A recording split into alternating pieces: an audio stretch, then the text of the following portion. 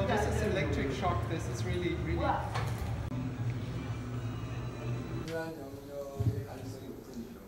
We have a lot of independent uh, video games, uh, artistic video games, and uh, video games that are um, focusing on more diversified and more um, even political uh, political themes and topics. These independent games play a big role in the context of new gameplay. We have a lot of games that